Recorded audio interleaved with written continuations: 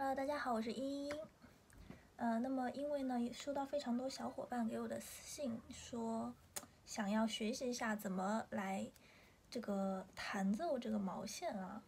嗯，其实我一直跟大家说的是，这个实在是非常的简单，两句话就可以讲完了。但是由于咨询的人比较多，然后也会有近期我建了一个群嘛，呃，比较多的小伙伴进群，其实是说想来嗯了解一下这个东西怎么弄。那么我就干脆出一个教学视频吧。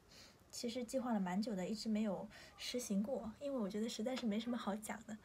呃，我们需要的材料呢非常简单，对，这也可能是成本最低的一项乐器了吧。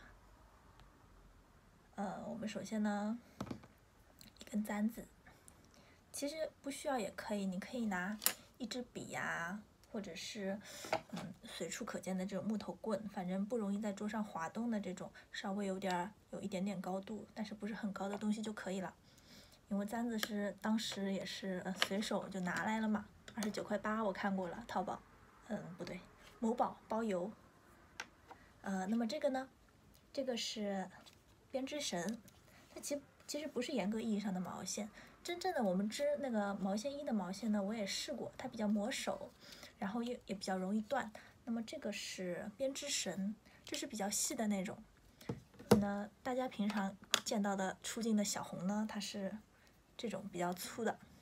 然后呃那个时候我们群里有个呃这个我们群里啊有位小伙伴他去买，呃经过研究以后好像是说这个是零点五号呃五号的五号的编织绳，大概是这种。粗，那么这种呢，就是它比较结实，然后它声声音比较饱满，像细的这种啊，它可能声音比较小一些。但是我们今天用细的来试试吧。小红它包浆了，对不对？然后需要找一个接班人了。我们今天就用细的来试试看。其实拿来以后，因为它跟我想象的不一样嘛，我也就一直闲置着它，没有没有没有用过。今天就来试一试吧。那么一张写字写字台，这个是写字台啊，把它，大家千万不要在桌子上钉钉子啊，这种不可回头的事情，大家不要去做，就把它套在套在这个写字桌上就可以了。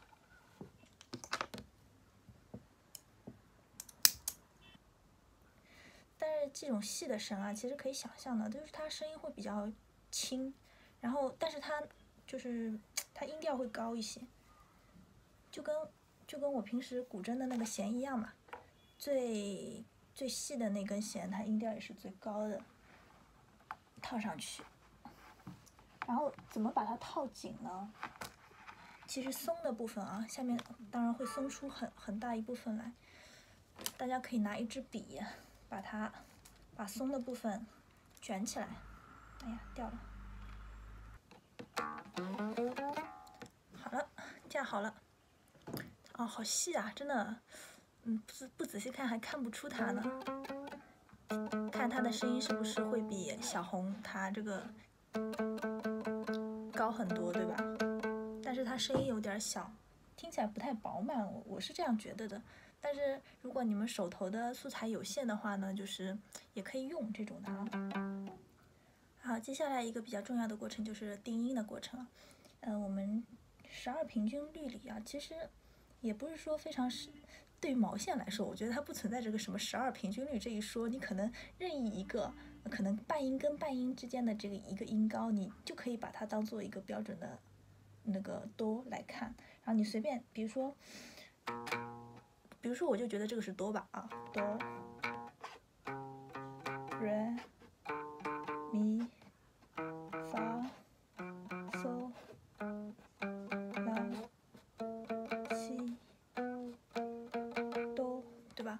可以就就把它当做一个音阶，这样来按照简谱来演奏就可以了。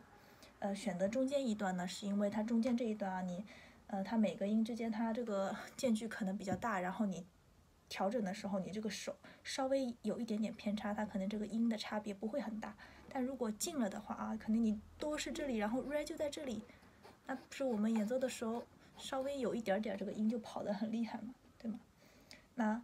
呃，你这个，你如果这个手感啊没什么手感的话，你拿笔标记一下就可以。